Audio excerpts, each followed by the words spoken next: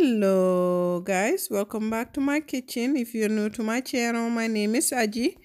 Today i have beef soup for you guys. Beef soup or in my language they call it foroh chaya. So this soup is oilless soup but it's really good. It's simple easy with very few ingredients.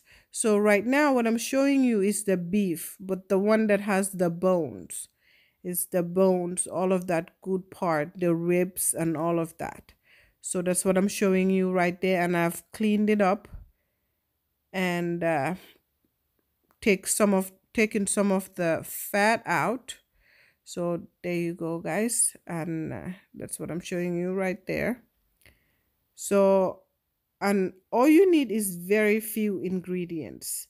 So I'm going to put some potatoes, but it's those, all of these are optional um, some garlic, some Thai chili peppers, sweet potatoes,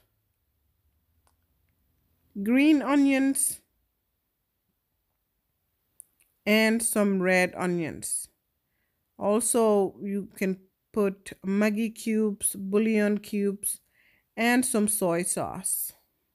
So that's what I'm going to put in it.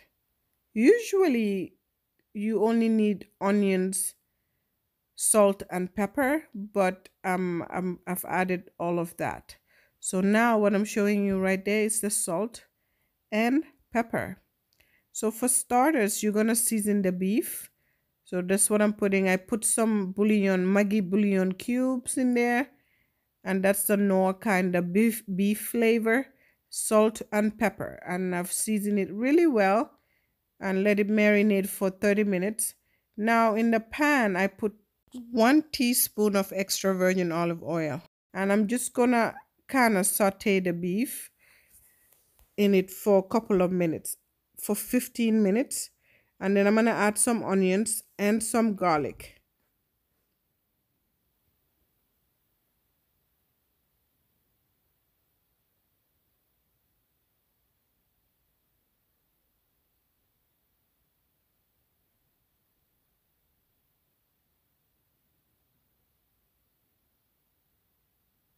And then you want to let that cook on low heat low to medium heat for at least i would say 15 minutes.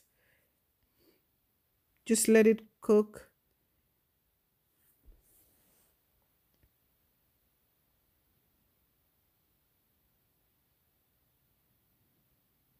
Now you're going to bring in some water and then i'm going to bring in the green onions that i blended with the peppers and the Thai chili peppers and the habanero peppers. So that's what I blended and then bring in the rest of the onions. Now you're going to let that cook until the beef is fully done and then the water reduces to a, like a semi-thick consistency and you're all done. Thank you guys for watching and don't forget to like, subscribe and share.